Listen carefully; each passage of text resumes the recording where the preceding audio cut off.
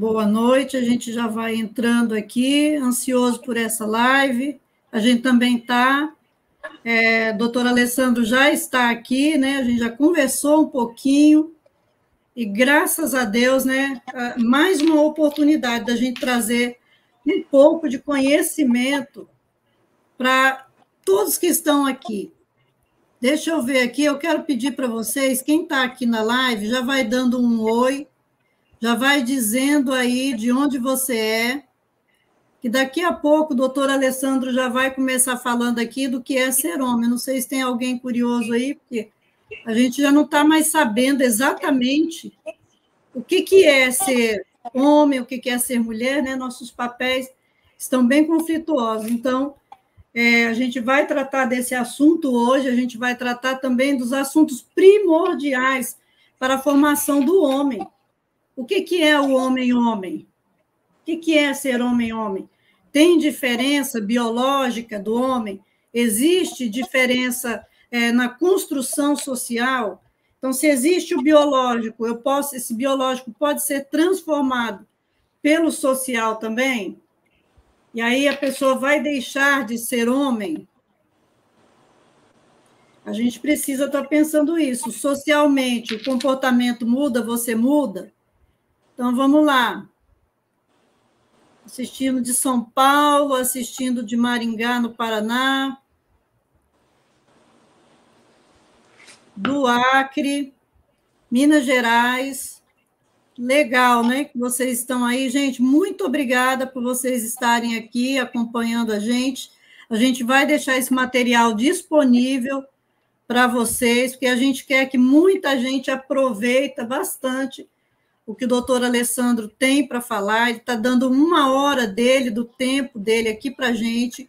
E ele já vai começar. Eu quero, eu quero pedir para ele, para ele começar. Ele vai se apresentar, é claro mas aí que ele já fale do material que ele tem, porque ele tem um material maravilhoso, produzido para homens, é específico para homens. Eu sei que as mulheres também têm de conhecer, porque a gente precisa conhecer esse material, porque se a gente quer ter um relacionamento saudável, a gente precisa conhecer o homem também. Então, é um material que acaba sendo para homem e para mulher e vai fazer bem para todo mundo.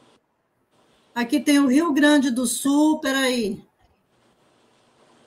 Ah, tá. Mas aí, ó, a gente vai falar só dentro do tema, tá? O que é ser homem, é isso que ele vai fechar. Eu já vou passar logo a fala para ele, porque a gente só tem uma hora, gente. É muito pouco e é uma pessoa muito especial, tem muito conhecimento para trazer, tem um material riquíssimo que eu só espero que todos adquiram. A gente vai é, depois até deixar o link lá no canal quem quiser estar tá adquirindo o livro dele, ele vai falar onde encontra direitinho, porque não adianta a gente ficar de blá blá blá aqui e não trazer crescimento e nenhum desenvolvimento. Então não vai dar em nada, tá? É, Maria Regina, o livro dele é, é maravilhoso mesmo. Maria Regina já disse aqui que o seu livro é maravilhoso. Que Deus ajude mesmo, que muitas mulheres, meu sonho é ver muita mulher é, passando a conhecer o homem, porque aí a gente vai evitar 80% dos problemas que a gente causa na vida do homem.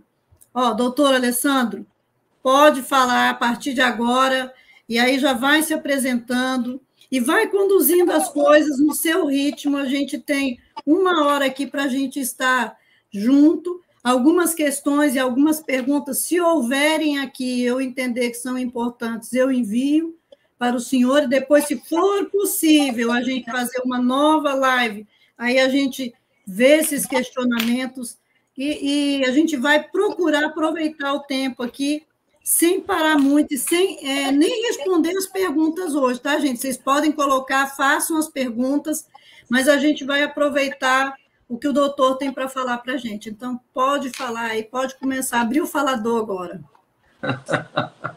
Zé, antes de qualquer coisa, muito honrado pelo convite. Muito obrigado pelo seu tempo. E agradeço também as pessoas que eventualmente estão acompanhando a gente aqui agora ou fatalmente vão acabar assistindo esse vídeo mais tarde. Uma das vantagens da internet é essa, né? o conteúdo não se perde. Enquanto não vier uma tempestade eletromagnética que afete o planeta inteiro, o conteúdo digital vai estar disponível para a pessoa assistir duas horas da manhã se tiver com insônia. Então, eventualmente, quem vier mais tarde, dedicar seu tempo a assistir essa live, muito, muito obrigado. Com relação às perguntas, eu recomendo que as pessoas deixem as perguntas aqui, para que você depois filtre e certamente, da minha parte, eu te dou toda a certeza do mundo. Assim que você tiver uma lista aí de 20 perguntas, a gente faz uma live só para responder perguntas do povo. Eu acredito que agora é mais a hora de apresentar alguns conceitos, tirar as pessoas da zona de conforto cômoda que elas se encontram. Eu sei que eu irrito muita gente, eu sei que o pessoal fica danado a vida comigo, mas eu acredito que isso é um tipo de bênção. Você não passar impune na frente das outras pessoas. Algum tipo de reação você tem que causar. Você não pode ser igual o chuchu, né? o quarto estado da água. A água pode ser líquida, pode ser vapor, e pode ser gelo, e pode ser chuchu. O chuchu é o quarto estado da água. Não tem gosto, não tem cheiro, não tem cor. Eu não quero ser chuchu na vida dos outros, não. Tem que passar lá e incomodar o cara mesmo, porque qualquer pessoa que estiver nos ouvindo, eu tenho certeza que você também, a gente estava conversando um pouco antes, você falou que você criou duas crianças. Todas essas mudanças que ocorrem na vida da gente, elas são tanto uma crise quanto uma oportunidade. É uma crise você engravidar. Vai nascer com saúde? Vai ter algum problema? Vai ter um problema no parto? A criança vai ter cinco dedinhos na mão? Vai ter dois olhos no rosto? Pelo amor de Deus. Aí nasceu, falou, ai meu Deus, esse umbigo aqui, será que vai dar teto? Não sei o que, vai dar bronquiolite? O menino está ganhando peso? É, essa crise que se instalou na sua vida até então era uma zona de conforto, era você e você. Agora é você e uma criança na sua barriga. Daqui a pouco vai ser você e uma criança no seu seio. Daqui a pouco vai ser você uma criança tentando enfiar o dedo em tudo quanto é buraco de tomada na casa. Cada crise dessa representa uma oportunidade para você poder aprender a, controlar suas emoções, como é que eu gerencio o comportamento de um ser humano em evolução. Essa criança fica perguntando por quê, por quê, por quê o dia inteiro, não tem tanto porquê para responder assim. Traz, pelo amor de Deus, alguém compra a enciclopédia, coloca nessa sala aqui, que eu não consigo responder. É, é uma oportunidade para que você cresça.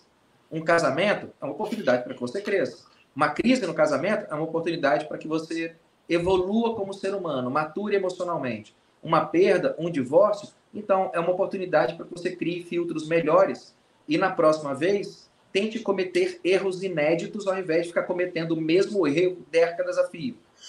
Né? Não vai. Ah, mas eu escolhi uma mulher que era roqueira. E, putz, agora eu já entendi. Mulher roqueira não presta. Eu escolhi uma mulher que gostava de sertanejo. Eu não tolero isso. Ótimo, olha aí, você ficou com aprendizado.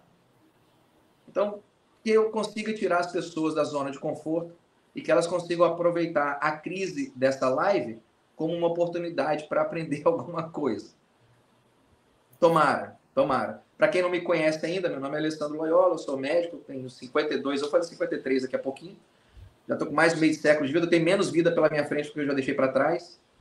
Já escrevi, sei lá, 24, 25 livros, eu não, não tenho a conta mais, não. Os dois recentes que a gente vai acabar mencionando aqui são livros que eu gosto muito, que são estudos voltados para o comportamento humano.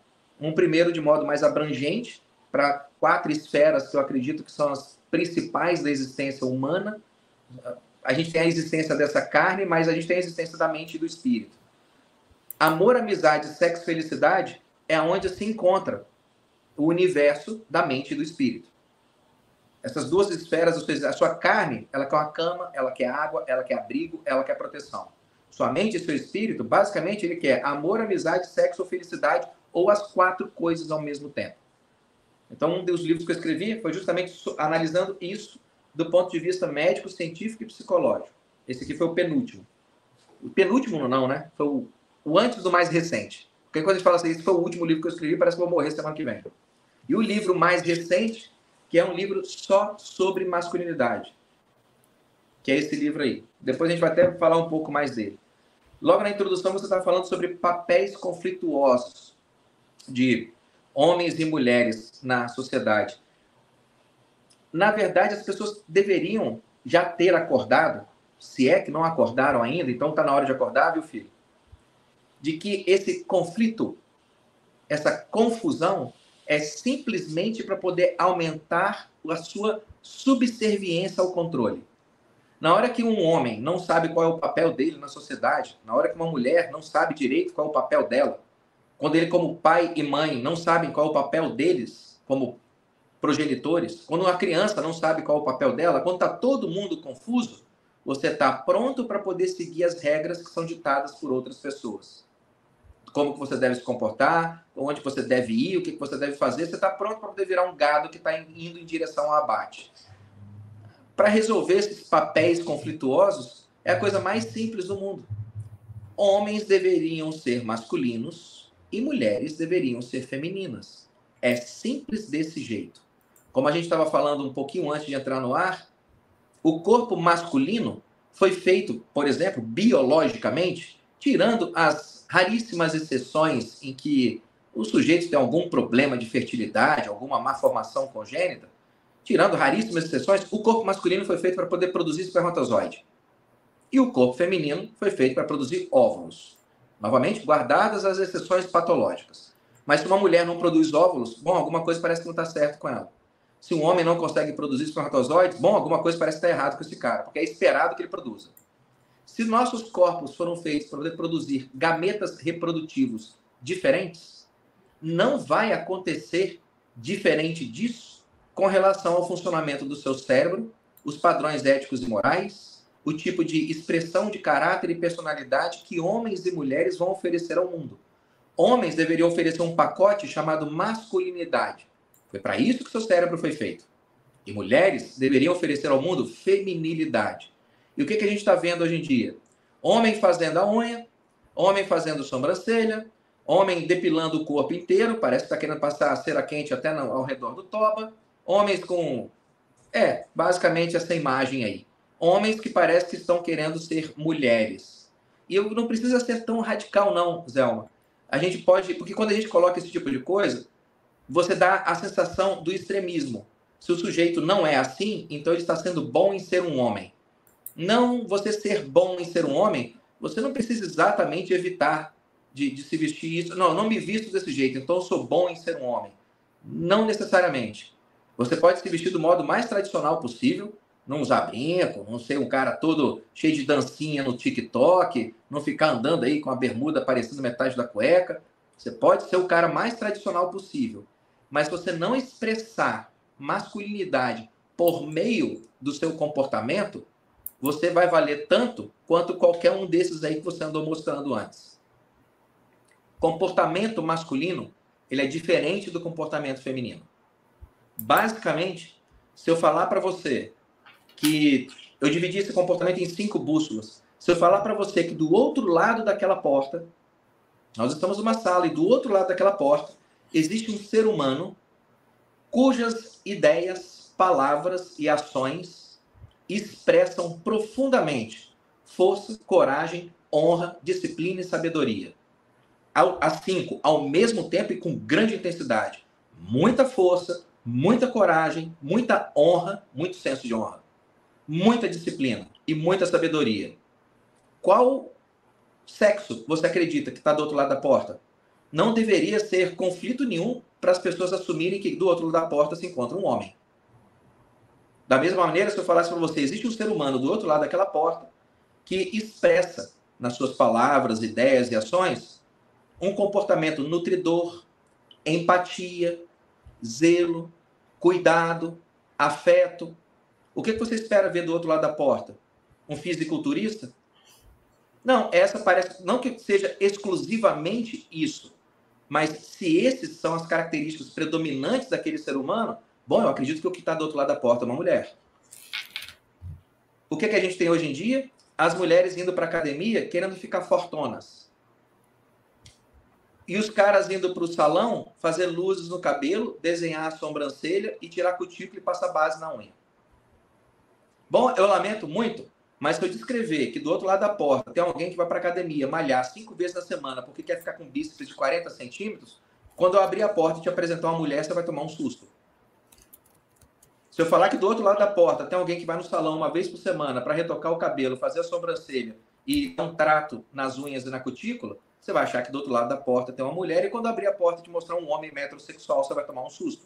Fala, caramba, errei? Valendo um milhão de reais, Delma. Não, peraí, faz a unha, faz a unha. Faz a sobrancelha, faz a sobrancelha, Zelma. Pinta o cabelo? Pinta, faz luzes. Ah, cara, é uma mulher. Tem certeza, Zelma? Vale um milhão de reais. Hum. Ah, bicho, deve ser uma mulher, vai. Estatisticamente é uma mulher. Aí eu abro a porta e entra um homem. E aí?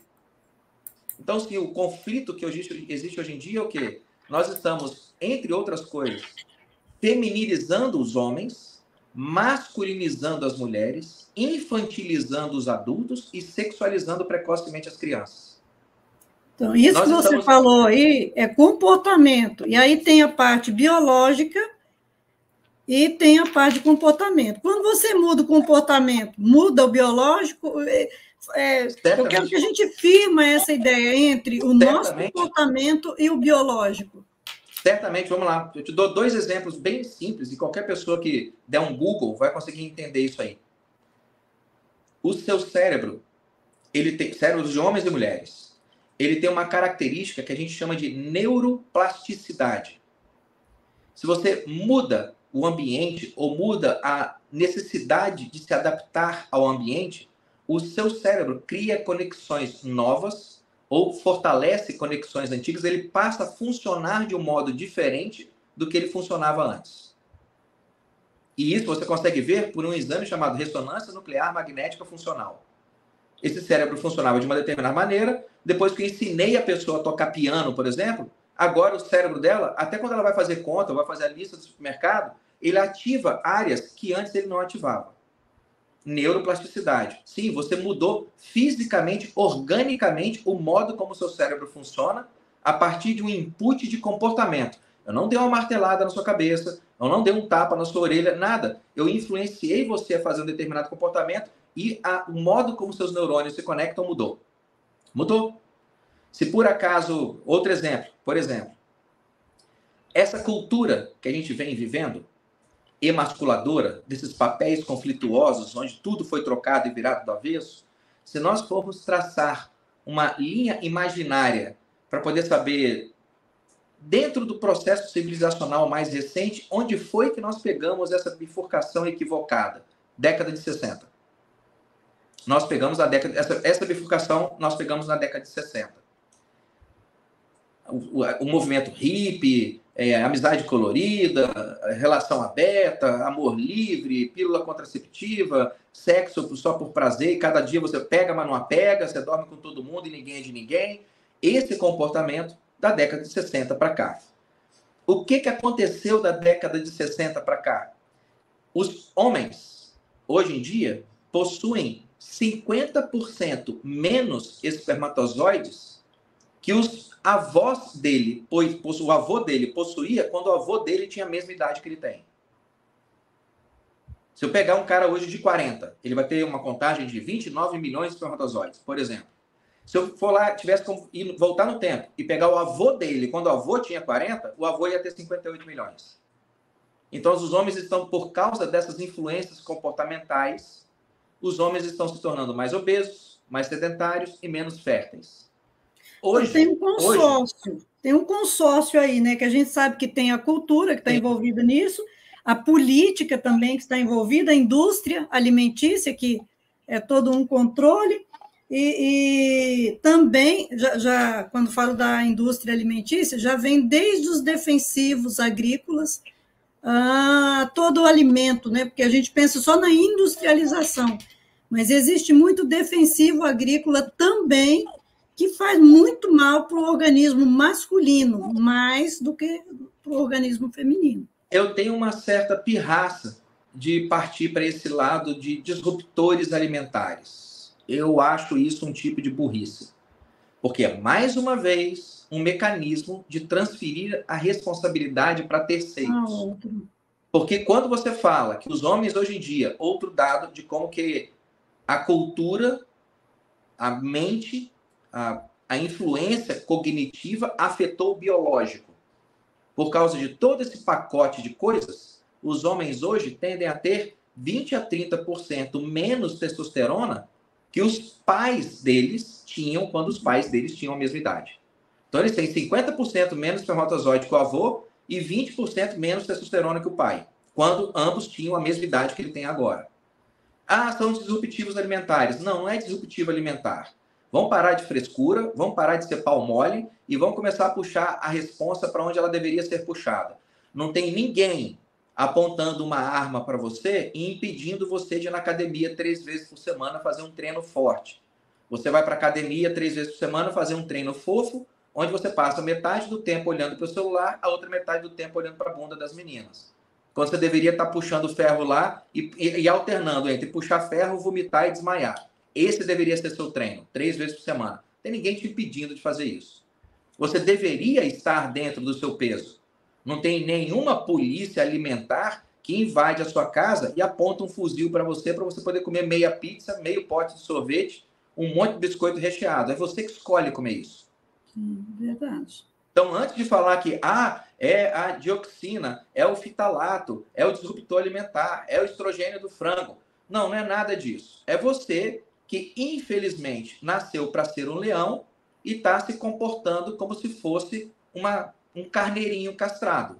E é você que está escolhendo se comportar assim. Isso não tem nada a ver com a política, não tem nada a ver com a Big Pharma. Porque na hora que você fecha a porta da sua casa, é você e você. É você que escolhe sintonizar em tal canal, é você que escolhe ser alfabetizado e não ler, é você que escolhe não ter um plano para a carreira, é você que escolhe não tentar moldar o seu caráter para que você brilhe no mundo. É você que está aceitando levar uma vida medíocre e quer colocar isso, a culpa disso, num tapewarezinho de plástico que está na sua geladeira. Isso não é a causa da sua mediocridade, mas é uma expressão dela. É uma consequência. Como você é medíocre, está querendo colocar a culpa em outra pessoa, ao invés de assumir ela por você mesmo. Tem um rapaz lá no TikTok, eu não consegui achar esse cara no, no YouTube, eu procurei. Ele diz que ah, essa diminuição, e ele fala sobre essa questão, com os anos, a diminuição, a diminuição da testosterona, e aí ele diz assim que também existem umas pesquisas que o QI dos nossos ancestrais, lá que não sabiam ler nem escrever, né, o nosso bisavô, nossa bisavó, pelo comportamento se pode saber, ele falou assim, ó, olhando o que eles faziam, se pode ter uma ideia do QI dessas pessoas, porque eles não eram alfabetizados, mas eles faziam x, x e vai falando coisas, né? Então, através disso, você vê, é, era uma média de 112. Hoje, o QI, e aí ele vai fazendo vários cálculos, inclusive ele entra na tabela Z, e aí ele é, chega à conclusão ali, ele mostra que está em média de 70, 68, 68, e ele arredonda para 70. Fala, vamos arredondar isso aqui para 70. QI brasileiro, só do, do brasileiro, né? E quando a gente pensa isso, será que a gente pode medir, fazer esse comparativo da diminuição da testosterona com diminuição do QI, porque se lá atrás eles tinham testosterona mais alta e tinham um QI mais alto, e agora ah, baixou o nível de testosterona e o QI também baixou, e drasticamente, se continuar baixando, não sei, daqui uns de um macaco está lá na nossa casa, né? Vamos lá, tem alguns equívocos de raciocínio aí. Primeiro, associação não é causa. A associação não é causa. Você ver dois efeitos simultâneos, pode ser que um esteja associado com o outro, mas não necessariamente um cause o outro. Se eu entrar numa enfermaria que tem 10 pacientes infartados, que acabaram de fazer uma, uma angioplastia, colocaram um stent, 10 pessoas infartadas, quantas dessas pessoas têm sobrancelha? Provavelmente todas. Então, sobrancelha causa infarto. Não, calma, associação não é causa. Se a gente achar que a diminuição da testosterona diminui o QI, como é que eu vou explicar a diminuição do QI em mulheres também, que não produzem níveis tão elevados de testo? Então, a questão do QI é um pouquinho mais multifatorial do que a testo. Ela é multifatorial de um jeito diferente. A testo também é multifatorial, mas o QI é um pouco diferente. Que o QI dessa geração agora, nós inclusos nela, certo? Não é a geração que vai viaja as crianças, não, não. Qualquer indivíduo que esteja vivo hoje no planeta. Essa é a geração de agora. 60 anos, 15 anos, o que for. O QI médio dessa geração, ele certamente está menor do que o QI, por exemplo, da geração que estava viva em 1950. Isso, inclusive, é um, é um negócio chamado efeito Flynn. F-L-Y-N-N. Efeito Flynn. O efeito Flynn descrevia que a cada década o QI de uma determinada nação ou de um povo tendia a aumentar entre 3 e 5 pontos. A cada década o QI vinha aumentando em torno aí de 5 pontos, vamos arredondar 5. Curiosamente, nos países desenvolvidos, onde são realizados testes de QI em massa, que não é o caso do Brasil, A última estatística que a gente tem aqui é do começo dos anos 2000 e nosso QI estava em 83. Se eu não me engano, era de 2012 essa estatística. Tinha uma de, 8, de 2007, que a gente estava com 87 de QI, e uma de 2012, que a gente estava com 83. Mas a amostragem era muito pequena. Mas, de qualquer forma, em países desenvolvidos, onde eles fazem esse teste em massa e a amostragem é mais significativa, o que eles viram é que a geração de agora ela inverteu o efeito Flynn. É a primeira vez, desde que eles medem QI, que uma geração ela está mais burra do que a geração que antecedeu. Até então, sua bisavó ela era uma geração mais inteligente que a sua tataravó. A sua avó foi uma geração mais inteligente que a sua bisavó. A sua mãe foi de uma geração mais inteligente que a sua avó. Você e eu fazemos parte de uma geração que é mais burra do que a geração que nos antecedeu. Isso em vários países. Agora, se você tem um país, um Japão, uma Inglaterra, que tem um QI de 90, 100, 110, um QI médio bem significativo, você perder 5 pontos de QI numa geração não vai ter tanto impacto naquele processo civilizacional daquela nação. Você sair de um QI de 110 para 105, sair de um QI de 97 para 92, não vai ter grande impacto, pelo menos imediatamente. Só que no Brasil, se você sair de um QI de 87 para 82, já gera um problema muito grande. Se você sair de um QI de 83 para um QI de 78, você vai ter um impacto imenso, porque nós vamos começar a ter falhas em processos que são essenciais para a manutenção do país. Você vai começar a ter falha em manutenção de aeronave, em manutenção de veículos automotores, em manutenção de redes de comunicação, na, no sistema educacional, você vai ter aumento do índice de atrogenia em hospitais, você vai ter enfermeira que vai trocar a alimentação que deveria ir pela sonda do nariz e vai colocar aquela alimentação na sonda que vai para o coração e a pessoa vai ter uma embolia e vai morrer. Você vai ter deficiência no processo do maqueiro, que deveria tirar a vozinha da maca em segurança, e derrubou a vozinha da maca e acabou de dar, ela devia para o pronto-socorro com pneumonia, agora ela está com pneumonia e traumatismo craniano, porque houve um erro no processo de tirá-la da maca. Isso tudo associado em decorrente de quê? Baixa do nível de QI. Quando você sai de um QI de 87 para 82, algumas coisas que não deveriam ser admissíveis vão começar a ocorrer com certa frequência. Por exemplo, você vai ter uma população imensa, alfabetizada, que não compra um livro há mais de um ano. 80% dos brasileiros não compraram um livro nos últimos 12 meses. Isso é um problema muito grave, porque lá na frente, como que nós vamos tocar um país de mais de 8 milhões e 500 mil quilômetros quadrados? A infraestrutura que esse país exige, a quantidade de alimento que esse país precisa consumir, a quantidade de água que tem que ser bombeada pelas cidades, a quantidade de esgoto, mais da metade dos lares brasileiros não tem tratamento de esgoto. Se a gente continuar diminuindo o QI, a gente vai ter ainda menos rede de esgoto e menos rede de esgoto, significa crianças que vão nascer em condições ainda mais insalubres do que elas já nascem e hoje Tudo isso quem faz é o homem. Essa é a função do homem, essa é a importância do homem e de hum, não só manter o QI, mas também manter a questão da testosterona. Porque a testosterona ela é uma força de ação e até queria que a gente falasse é, sobre isso, porque quando a gente entra nesses detalhes de mantenimento de toda essa estrutura pesada, dessas profissões perversas, que eu chamo assim de perversas porque elas são perigosas, são insalubres. É, quando a gente fala de um homem aí e entra na questão da infraestrutura, a gente não vai ver só o serviço pesado, não é? porque ali é um serviço muito pesado de abrir toda uma rede, de manter aquele sistema, mas também quando se mexe ali, se mexe com gases, e não só aí, quando fala de saúde também, aí a gente tem os químicos ou os produtos, né, que são inalados, que são perigosos e que são mortais, e o homem está em todas essas piores situações, está o homem. Aí a gente vê a importância do QI masculino e que o homem tem de buscar conhecimento, e por isso eu fico até preocupada. Como que um livro é, sobre masculinidade tem de ser tão divulgado quando os homens estão sofrendo tanto? Era para os homens estarem caçando enlouquecidamente material para se, é, se cuidar de todas as formas. É, as leis que estão oprimindo, então eles deveriam estar correndo em conhecer isso, também a sua própria masculinidade que está sendo desconstruída, também eles deveriam correr para essas pessoas e não correr das pessoas que estão escrevendo.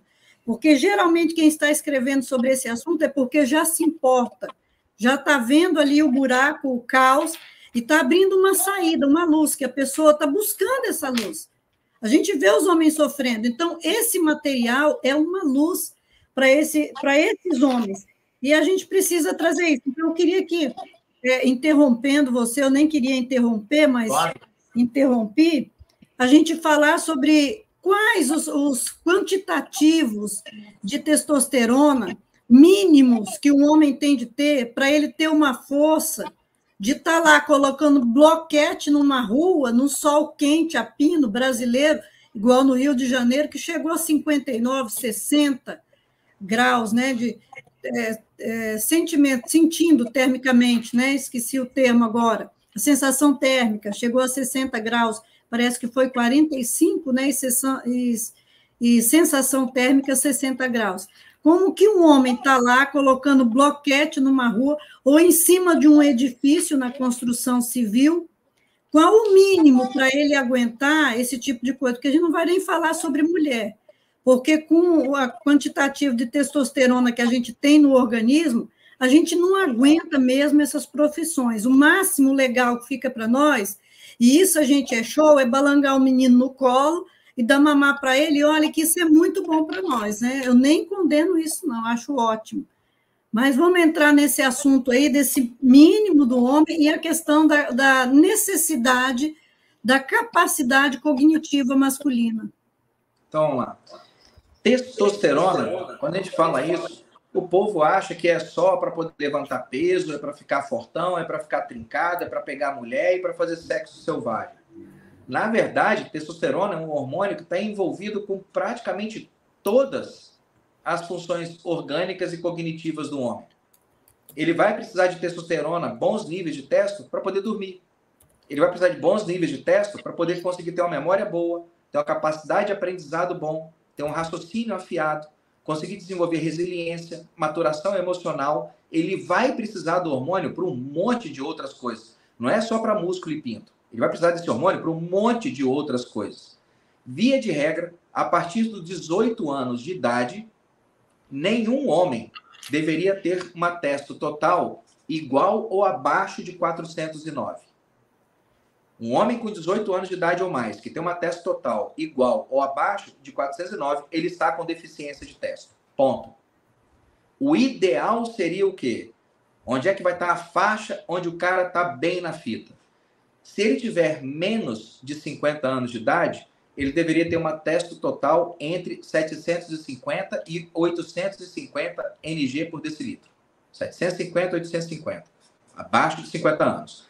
Acima de 50 anos, uma testo ideal seria de 650 a 750 de testo total.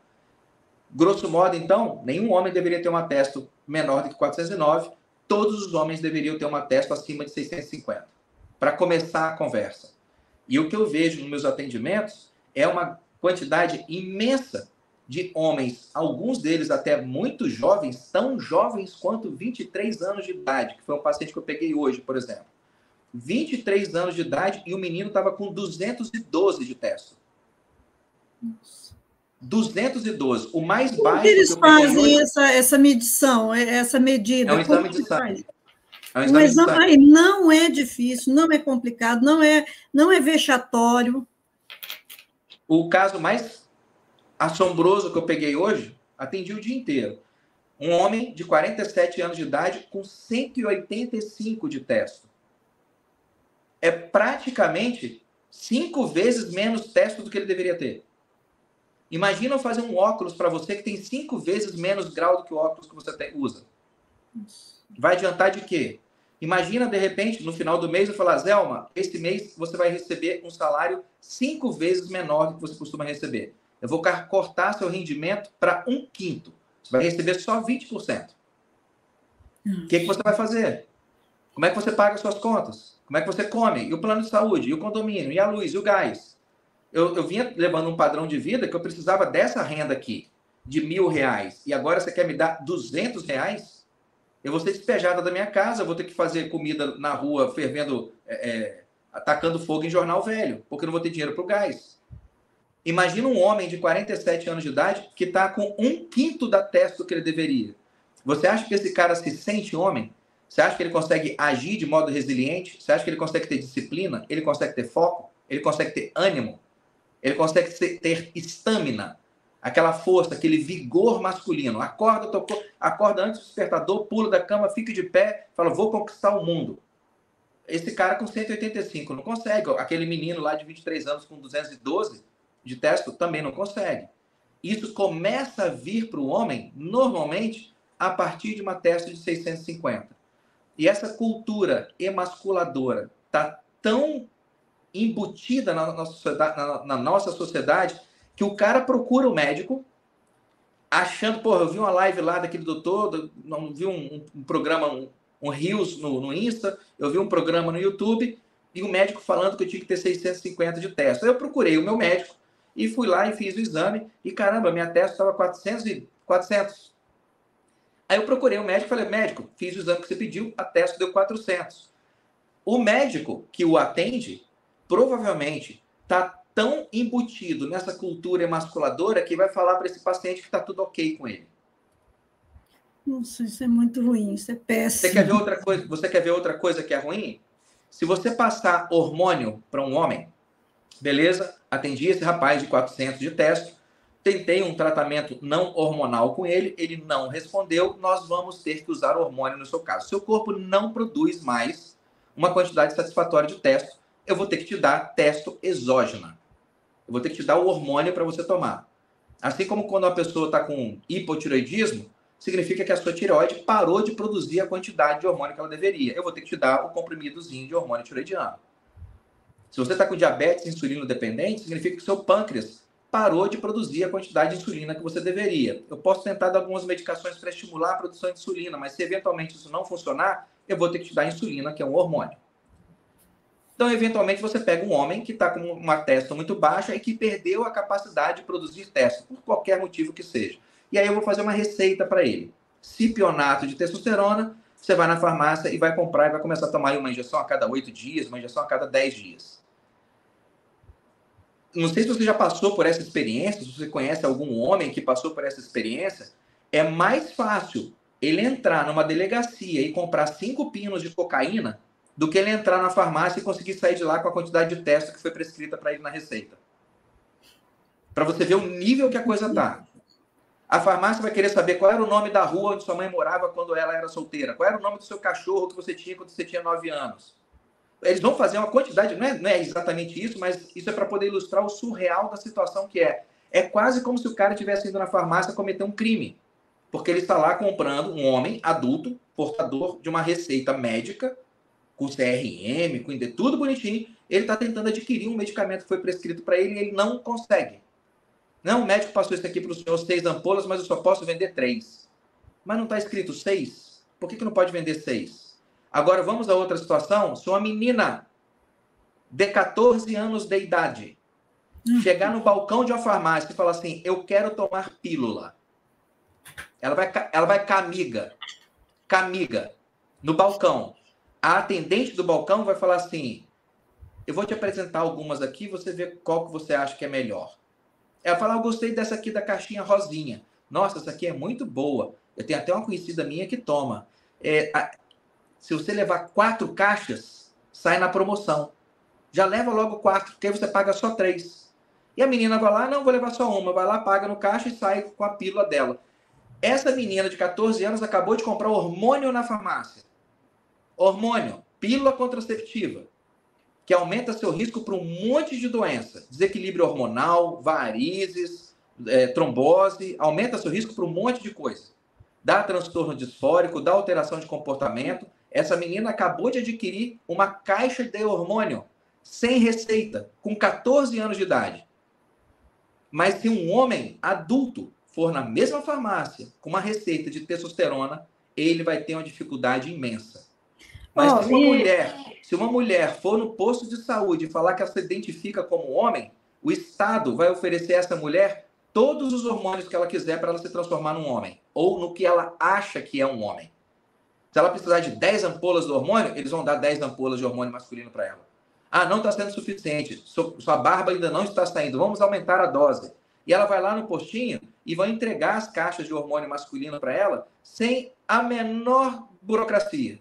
Mas se você for um homem hétero, querendo ir na farmácia, fazer a sua reposição de teste, levando a receita do médico, você vai ter uma dificuldade imensa. Então você imagina que os homens não procuram esse tipo de tratamento. Quando encontram alguém que faz o exame, o médico não sabe interpretar o exame direito. Quando interpreta o exame direito, o médico costuma não saber passar o tratamento direito. Quando ele encontra, por milagre, um médico que pede o exame, interpreta o exame, passa o tratamento, que ele vai na farmácia comprar, ele não consegue. Olha, e, e o homem ele tem a vergonha de parecer não viril. Ele tem essa. Quando ele entrega a receita ali, parece que ele está recebendo um carimbo na testa, não viril, e isso mexe não, às vezes não, com eles. Não. Mas antigamente, só eu, eu colocar aqui, Antigamente, o nosso avô, o nosso né, bisavô, sei lá, meu avô, né? Porque eu lembro meu avô. Meu avô fazia gemada na frente de todo mundo, vivia procurando amendoim, casca de não sei o quê, porque tudo que ele imaginasse que, que dava virilidade, ele estava atrás. Até uma vez fizeram uma brincadeira, eu tinha média uns 14 anos de idade, foi tinha um senhor onde a gente morava que o cara era, ele brincava com tudo. E aí ele inventou, ele passou num lugar e viu uma bendita de uma árvore e ele falou que aquela árvore lá dava uma potência terrível. Inventou um nome para a árvore, ele nem sabia o nome da árvore. Ele inventou o nome e falou que a casca daquela árvore dava mesmo é uma potência, né?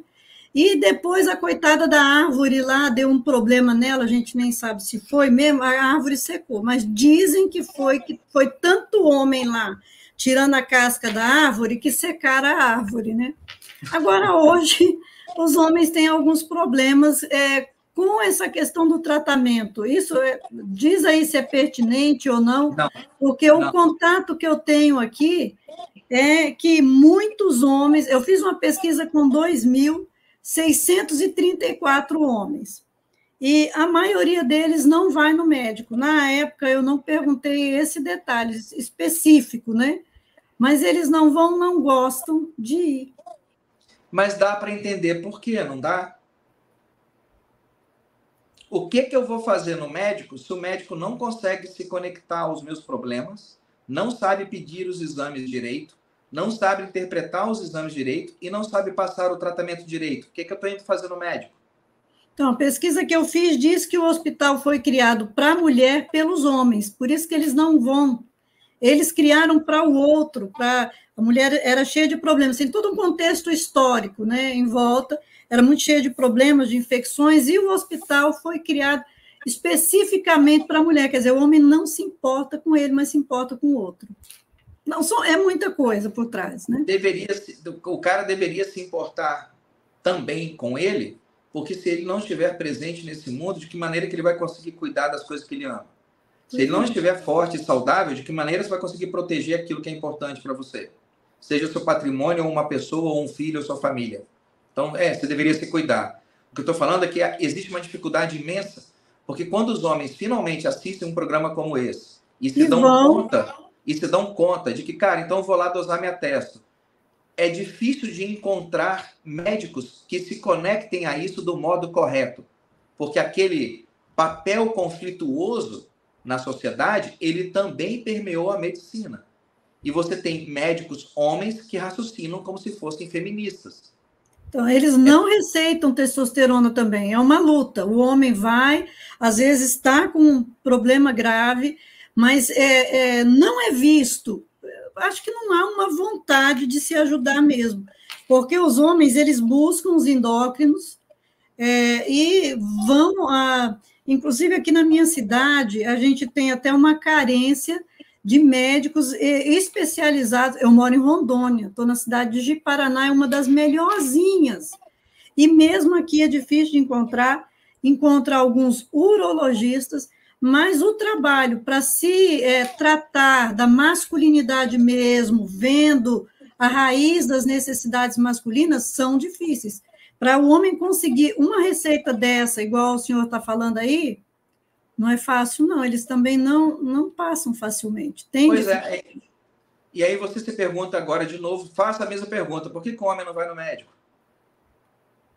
O que, que vai adiantar? Eu chego lá para o médico e falo: olha, já é, o, o grande terror do homem, um dos grandes terrores do homem, não é a primeira vez que ele não consegue dar a segunda. É quando está a segunda vez que ele não consegue dar nem a primeira. Isso é um terror instalado na cabeça do sujeito. Tem um apartamento na cabeça dele. Já é a segunda vez que eu tento e pimba, o troço não funciona. Aí ele vai procurar um médico. O cara vai falar que é ansiedade, o cara vai falar que é ah, o senhor deveria diminuir a carga de trabalho, o senhor tinha que procurar um psicólogo para poder se conectar aos seus sentimentos, o senhor tem que aprender a chorar. Vamos fazer o seguinte, irmão? Vamos parar de conversar com ele como se ele fosse uma menina de 12 anos que acabou de menstruar e vamos conversar com ele como um homem? Primeira coisa, você tem que perder essa porra dessa barriga de chope sua. Certo? Porque 70% dos homens com excesso de peso possuem deficiência de testo. Então, a primeira medida que você tem que fazer para poder corrigir sua testo, perca seu excesso de peso. Você já vai se livrar a cada mais ou menos 10% do excesso de peso que o homem perde, a testo dele vai subir 15, 20%. Então, você iniciar o processo de emagrecimento já vai começar a levantar sua testo. Segunda coisa, três vezes por semana você vai para uma academia e vai fazer exercício com peso. Ah, eu moro numa cidade interior. Tem, um, tem uma barra de ferro no varal lá na sua, na sua, no seu quintal? Tem alguma praça perto de você? Tem um chão na sua casa? Deita, faz flexão, faz agachamento, faz abdominal, vá se exercitar. Três vezes por semana. Ah, eu moro numa roça, eu moro. Pelo amor de Deus, né? Quem quer arruma um jeito, quem não quer arruma uma desculpa. Você vai ser o cara da desculpa ou vai ser o cara do jeito? Você vai ter um resultado? Se ele está na roça, ele está bem, porque lá as distâncias e tudo que ele tem de fazer já vai dar uma ajuda tremenda. É, mas às vezes o cara mora na roça, mas ele é funcionário da prefeitura. O trabalho dele é ficar lá batendo carimbo o dia inteiro. é, é uma roça, mas na roça, tem, na roça tem Câmara de Vereador, na roça tem cartório, na roça tem escola, ele é vigia da escola. ah, tá. Você está dizendo assim, cidade pequena, igual a minha. A minha é uma cidade pequena, né? Cento e poucos Bom, mil habitantes. Tudo bem, mas desses cento e poucos mil habitantes, quantos são funcionários públicos? Ah, a desses maioria. Funcionários públicos, desses funcionários públicos, quantos são homens? É. Olha, funcionários... infelizmente, por aqui é muito funcionário público Tudo mulher, bem. tá? Dos funcionários públicos, vamos falar da população masculina, dos funcionários públicos que são homens, quantos que estão dentro do peso e quantos que se exercitam três vezes ah, por semana? Não, não faz. Então vamos fazer o seguinte: mesmo na cidade, ah, eu moro no interior, isso não quer dizer absolutamente nada. Uhum. Nada. A academia tá fazendo... hoje é uma necessidade. A gente tem de entender que os tempos mudam e, e as coisas mudam é, de funções também. A academia de primeiro podia se pensar que eram os caras que queriam né, ficar só lá, fortão. Não, hoje é uma necessidade, porque não se faz mais tanto exercício, encurtou as distâncias, o carro leva, ou a moto leva para todo lugar. Então, é uma necessidade. Sabe qual é a coisa que vai garantir para você o, o, fator controlável? Não os fatores. Existem alguns fatores incontroláveis do seu processo de envelhecimento que não tem jeito. Mas existem alguns fatores que são controláveis. Por exemplo, manter sua pressão arterial sob controle, manter seus níveis de glicose sob controle. Existem algumas coisas que são controláveis. Dos fatores controláveis para o seu processo de envelhecimento, isso serve tanto para homens quanto para mulheres, o que, que você pode levar para a velhice que vai te ajudar? Músculo. Músculo. Vai evitar queda, vai melhorar seu equilíbrio, vai te garantir autonomia para as atividades do dia a dia, é um reservatório de proteína e energia para você poder enfrentar infecções. Então, se o cara começar a treinar agora, começar a puxar ferro e começar a ir para academia, ou ir para praça, ou fazer flexões no solo, o que for, comprar um halterezinho pela internet, começar a se exercitar em casa, vai no YouTube, ver alguns canais lá para ele fazer, ah, quer ficar com mais braço e tal, e o que for. Se ele começar a se exercitar, isso já começa a aumentar a testo dele. Se o exercício resultar em perda de excesso de peso, isso vai aumentar a testo dele. E a poupança que ele vai fazer de hormônio e músculos para a velhice vai garantir uma velhice mais tranquila para ele. Então, quando o médico atende um paciente com problemas de queixas que sugerem déficit disfunção erétil, alguma disfunção sexual, ou problema cognitivo, ou sarcopenia, ou sintomas cujo conjunto desses sintomas sugira insuficiência de testo, a abordagem desse homem deveria ser feita como um homem, Não como uma menina de 12 anos que precisa dar mãozinha para atravessar a rua. Se bem que menina de 12 anos hoje em dia não precisa de mãozinha para atravessar a rua, porque já estão fazendo capeta, né? Mas esse cara deveria ser atendido como um homem, um homem. Então vamos lá, chefe. Você quer dar uma melhorada? Você quer ficar legal? Vamos perder excesso de peso. Vamos começar a ir para academia, fazer uma atividade física e vamos colher esse exame de sangue para poder dar uma olhada como é que você está. E dependendo do que for necessário, ou usa algumas medicações para melhorar a testo, ou vai ter que usar testo mesmo. Os pacientes que eu prescrevo testo, mais ou menos 20% dos pacientes que eu atendo terminam tendo que utilizar testo hormônio mesmo, não tem alternativa. O cara já não produz a testosterona que ele deveria.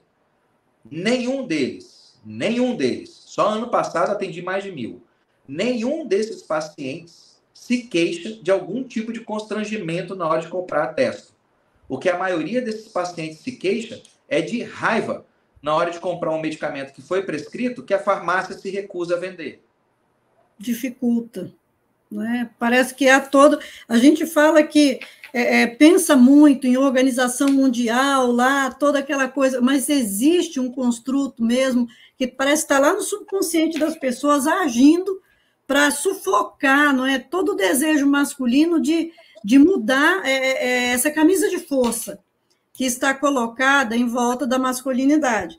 Tem um, um detalhe da testosterona que eu achei muito importante nas pesquisas que eu fiz, e isso foi mais ou menos uns cinco ou mais de cinco anos atrás, é, sobre a questão de que a agressividade não é violência. Até ali, é, eu não distinguia, não fazia essa separação. E é, nessa pesquisa, eles separam a importância da agressividade, dessa a, da testosterona alta, leva o homem a agir. Então, ali, naquele texto, naquela pesquisa, era uma, é uma pesquisa americana e eu não estou lembrada agora, mas era mais ou menos uns cinco que, é, peritos, especialistas, especialistas, que estavam juntos nessa pesquisa, e eles falam sobre a importância da, é, da agressividade no homem. E aí eles fazem essa diferença. A agressividade não é violência, e eles tratam assim: quando você fragiliza o homem, que o homem não se torna mais um perigo social, e aí o homem tem de ser perigoso, e eles trazem a importância da agressividade na ação, eles levam só para o lado do agir, que é mais assim uma questão de acordar com força, acordar com vontade, do fazer masculino, do que o bater masculino. Aí eu queria que o senhor falasse nessa direção é, dentro dessas vertentes, a, a agressividade se diferencia mesmo da violência? O criminoso, ele também não tem um certo grau de agressividade, assim, desse impulso de agir? Você consegue ver. Eu costumo brincar com a minha esposa de que um dos maiores problemas da nossa sociedade aqui no Brasil, hoje em dia, é a quantidade de pessoas tomando refrigerante achando que é suco de melancia. Mesmo quando você mostra o rótulo da garrafa e você mostra a cor do líquido e fala isso não tem nada de suco de melancia, isso é refrigerante, ainda assim a pessoa acha que está tomando suco de melancia, ela insiste nisso. O seu discurso é o discurso da pessoa que está tomando refrigerante achando que é suco de melancia você instintivamente e explicitamente já associou testosterona à agressividade. Sim. Você consegue entender que existe um erro aí? Você já está associando um hormônio que define masculinidade a algo que está dentro do conceito associado a alguma coisa que não é exatamente boa para a sociedade. Isso, contas, eles associam agressividade à criminalidade. Sim, e você mesmo já veio tentando desvincular a agressividade de violência, porque não, não, vamos fazer o seguinte: testosterona não deixa um homem agressivo. Só que a gente vive numa sociedade tão palmolenga que se o cara tem foco, ele é agressivo. Se o cara tem um objetivo muito bem traçado para a vida dele, então ele é agressivo. Se o cara não tem tempo para poder ficar perdendo com seu mimimi vazio, ele é agressivo. Se um sujeito está tão ciente do valor que ele tem e apertou o botão do foda-se para o resto do mundo, o seu julgamento não tem a menor importância para mim, então aí o cara é agressivo. O fato é que testosterona dá foco, dá determinação, dá autoconfiança. Ah, doutor Alessandra, se falar desse jeito, as pessoas não vão gostar de você. E você acha que eu estou preocupado se alguém vai gostar de mim? Eu estou Determinação eu tô não é agressividade? Porque não, as pessoas determinadas vamos... são difíceis da gente não. lidar com ele. Não vamos confundir as coisas. Você continua tomando Sim. refrigerante por, achando por que Por isso que eu quero te ouvir, né? Para eu ver se. Vamos lá. Um homem corajoso, isso depende de teste. Um homem corajoso, ele pode parecer ousado, ele pode parecer imprudente. Não, é coragem. Vamos dar um nome certo daquilo? Coragem. Tinha uma criança pendurada lá no alto de uma varanda, o sujeito subiu, escalou pelo lado de fora do prédio e salvou a criança.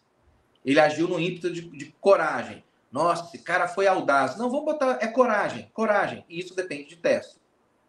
Um cara é mentalmente forte ou fisicamente forte.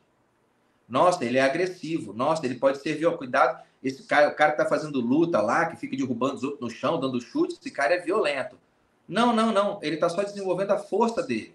Mas é que como você, a sociedade desenvolveu essa necessidade de classificar tudo que é masculino como sendo algo ruim e negativo, e tudo que é feminino é algo bom, quando você quer falar que o cara deve se tornar um pai melhor, um marido melhor, um homem melhor, qual é normalmente para onde que a conversa vai? Ele tem que se conectar à sua criança interior ou ele tem que se conectar ao seu lado feminino? Ou seja, para um cara ser melhor como homem, ele tem que se desvincular da masculinidade dele. Basicamente é isso que você está falando. É, mas o homem você... cuida de criança quando ele descobre como que você evita que a criança doeça no útero, como que a mulher falar, tem um parto melhor. É, ele falar, não cuida de criança balançando, falar, senão a gente fica sem. Se você Sim. falar de características femininas dentro da cultura geral, normalmente são características positivas. A mulher é empática, a mulher é nutriz, a mulher é meiga, a mulher cuida do lar. E quando você vai pegar características masculinas, normalmente elas vão ser direcionadas dentro do vocabulário geral para coisas que são negativas. Um homem, ele é ganancioso, ele é ambicioso, ele é manipulador, ele é violento, ele é agressivo, ele é promíscuo. Isso tudo está associado ao masculino. Mas Você se o homem não for agressivo, ele pode proteger a gente? Opa, lógico que pode. Você está confundindo, você está confundindo agressivo com, com é, deixa eu botar aqui. Eu posso ser pacifista, mas eu não preciso ser passivo. Eu defendo a paz, mas se você vier pisar no meu calo, eu arranco sua cabeça fora.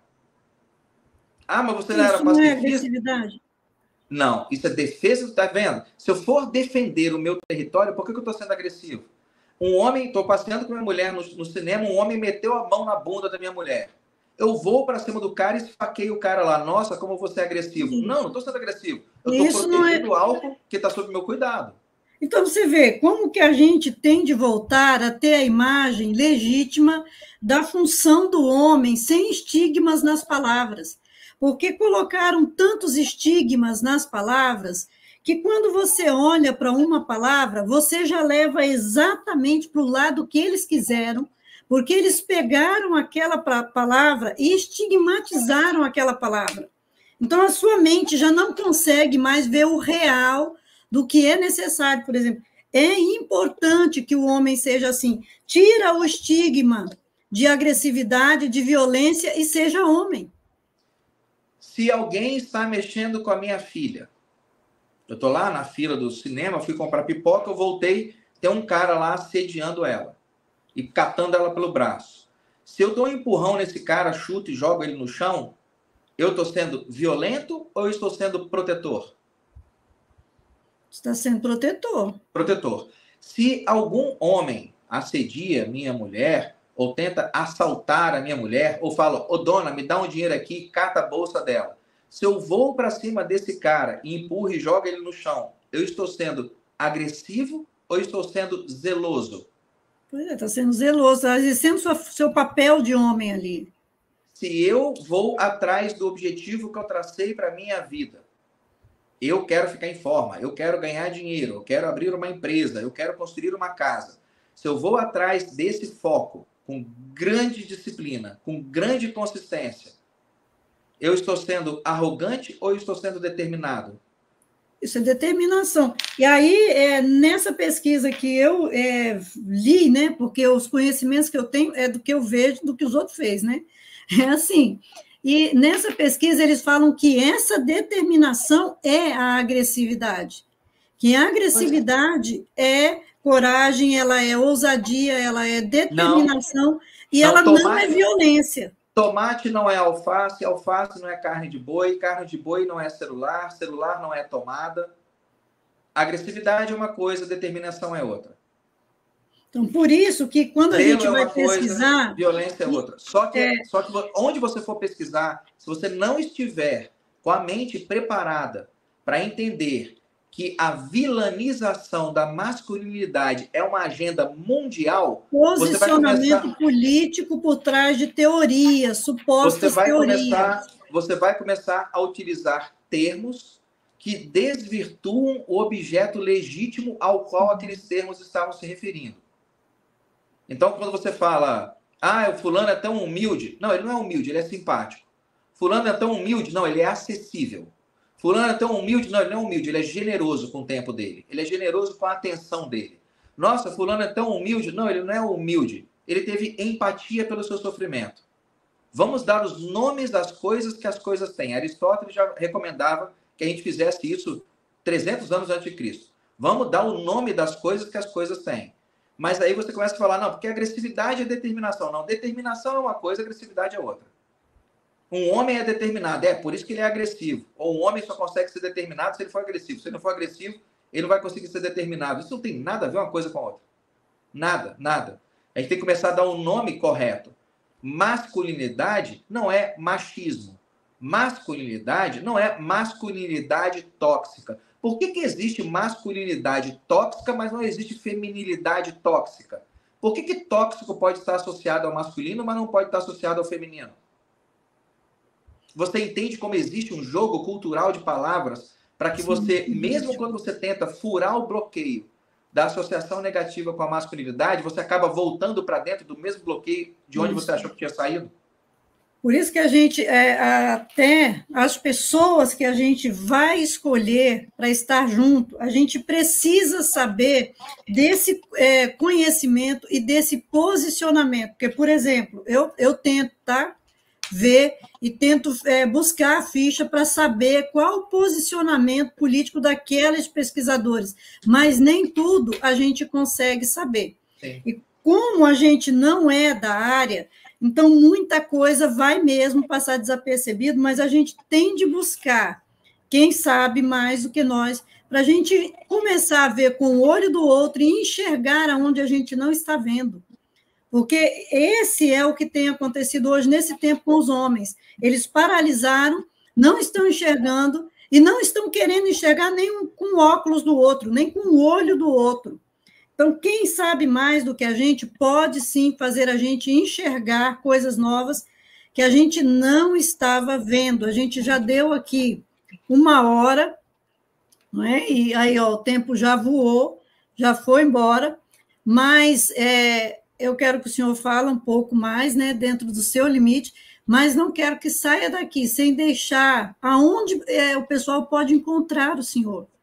Porque então, com certeza vai ter quem que, é, vai se perguntar assim, oh, mas aonde ele atende? Porque realmente é difícil, né? E quem sabe daqui uns dias o senhor pense numa coisa, que foi alguém que me pediu aqui para eu falar isso, se o senhor conhece é, no Brasil outros médicos como o senhor, que vão trabalhar seriamente e atender homens, aí quando o senhor estiver presente novamente, falar: oh, tem um meu amigo meu lá em São Paulo, tem um outro que eu conheço em tal lugar, ó, oh, esses caras aqui são bons, porque às vezes o deslocamento impede também a pessoa de procurar uma resposta, porque às vezes está buscando e não encontrou onde mora. Então, aí é, a gente Primeiro, já vai para esse final, né? Tá. Primeiro ponto que você falou aí, com relação a, ao conhecimento. Recomendo que homens e mulheres leiam isso aqui, ó. Homens e mulheres. Homens para o cara se redescobrir, porque a gente já está indo para a segunda ou terceira geração de homens que não sabem a diferença entre ser bom em ser um homem e ser um homem bom. São coisas bem diferentes. Antes de tentar ser um homem bom, o cara deveria se especializar em ser bom em ser um homem. Entender essa diferença vai mudar a vida dele completamente. O entendimento dessa diferença, o cara consegue encontrar nesse livro. Mulheres, eu recomendo que elas leiam também. Ah, mas o livro sendo homem, sim, lógico. Você não vai se relacionar com homens, não? Seu pai, seu filho, seu marido, seu chefe no trabalho, algum colega de trabalho, um funcionário que é subalterno seu no trabalho. Você não quer entender o universo do cara, não, para poder conseguir extrair o melhor dele, com o mínimo de atrito? Nesse livro aí, você encontra a, a explicação do universo masculino. É como se fosse um mapa com uma bússola. Você lê o livro, pronto. Aí você já entendeu como é que funciona a mente masculina. Você vai conseguir lidar melhor com o seu universo. A obra está pronta existe em formato físico, existe em formato e-book. Ah, mas é difícil, não tem loja aqui. Meu, entra pela internet, nas minhas redes sociais, você consegue, você compra na Hotmart e recebe na mesma hora a versão eletrônica. Igualzinha essa aí, você lê no celular, lê no tablet, lê no computador. Lembra, quem quer faz, quem não quer vai arrumar desculpa. Ah, na Amazon está lá também, né? Na Amazon tem também.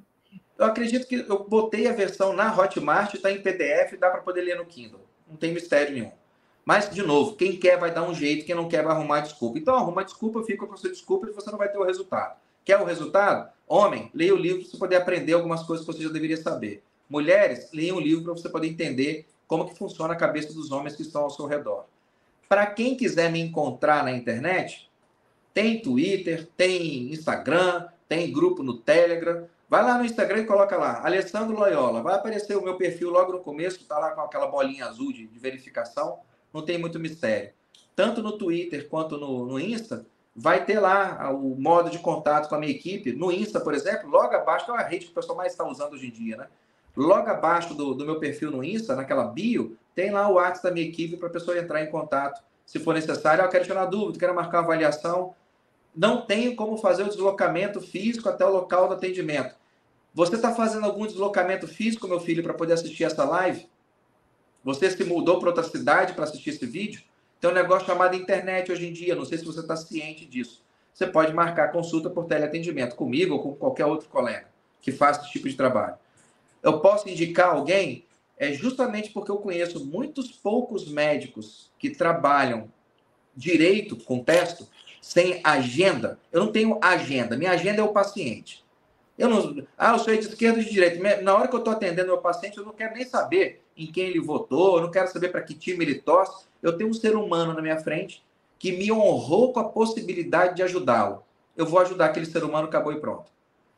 Como eu não tenho uma gama muito grande de colegas para poder indicar nesse tratamento específico, eu estou terminando agora, esse semestre eu já devo estar lançando um curso para ensinar profissionais de saúde como que você dá o diagnóstico e como é que você faz o tratamento de homens com deficiência de testo. Curso completíssimo, fisiologia hormonal, como que pede exames, quais exames que pede, como é que você interpreta o exame, recursos medicamentosos, tratamento de subpopulação, o homem que é hipertenso, o homem que é obeso, o homem que está com câncer, como que você faz para poder suplementar teste nessa população, como é que acompanha, curso completinho, vai ter uns 16 módulos mais ou menos, umas 60 aulas completíssimo. E aí vamos ver se a partir desse curso eu começo a ter um pouco mais de honradez quando eu for indicar alguém para poder saber, não pode consultar com fulano porque ele fez o curso. E se ele, ele foi bem no curso, eu confio no tratamento dele porque o conhecimento necessário ele já tem. Mas por enquanto, ah, eu quero entrar em contato com o senhor. Entra lá no Instagram, tem lá o link lá de contato, manda uma mensagem. Na hora que clicar no link da bio, já vai cair no WhatsApp da equipe, já dá para conversar com eles. Ok, então, olha, as perguntas vocês mandem aí, depois eu vou reencaminhar, é, e eu já quero agradecer a sua presença aqui. Eu creio que ajudou imensamente, porque a gente precisa estar tá começando a trazer. Então, a gente está num começo muito difícil, porque a gente está mexendo numa coisa onde ninguém quer ir. Né? É como se fosse é, a gente fosse as piores pessoas mexendo no pior lugar. E a gente está fazendo isso, a gente é um começo. Então, os que vêm ali, sempre que vêm na ponta, que vêm primeiro, sempre tem problema. Eu já estou mais de 14 anos é, nessa batalha aí com a masculinidade, com o resgate da autoridade masculina, porque a gente vai vendo, né, a gente vai lidando com pessoas, e eu lidava muito com mulheres, né, e lido, né, mais é com mulheres, mas o que, que acontece? A gente vai vendo, e eu fui, a primeira coisa que me levou nessa direção aqui foi que eu descobri que a mulher mente demais, e diante das mentiras que eu era levada a acreditar, é, e quando ia conversar com o companheiro, com a pessoa que ela estava falando coisas ali, e você apoiando, às vezes, uma pessoa que estava entrando na justiça contra a outra, e depois você vai descobrir que, quando você entra em contato com o outro, que era 80, mais de 80% de mentira, sabe? Era muito mais.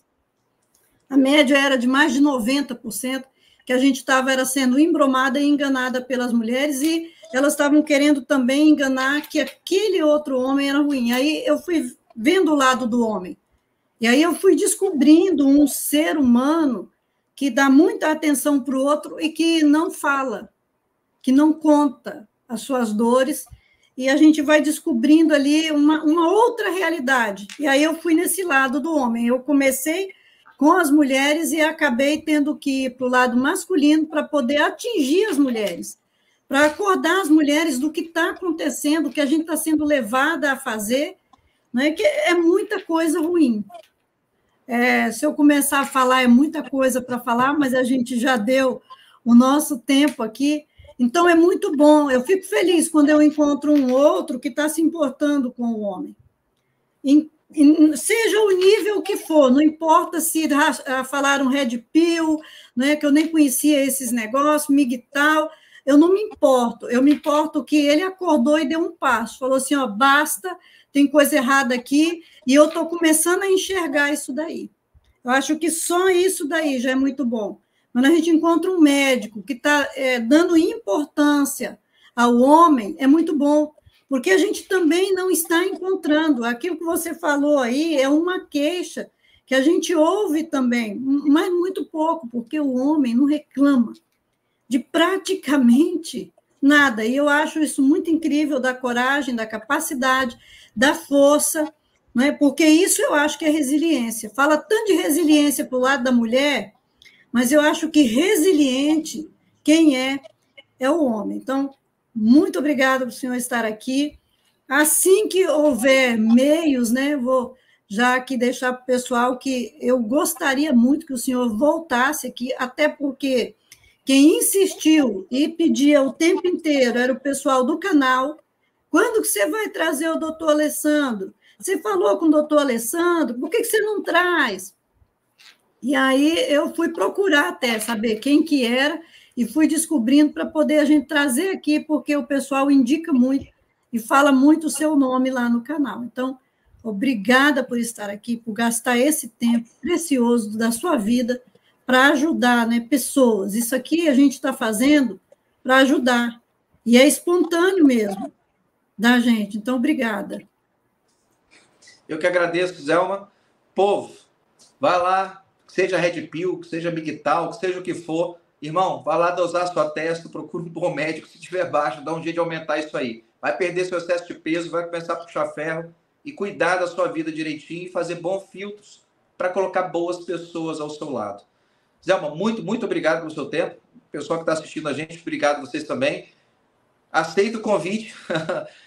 Arruma direitinho as perguntas, a gente marca uma outra data e a gente pode, se quiser, a gente trabalha nas respondendo as perguntas que foram feitas nesse vídeo aqui, sem problema algum. Fico à disposição.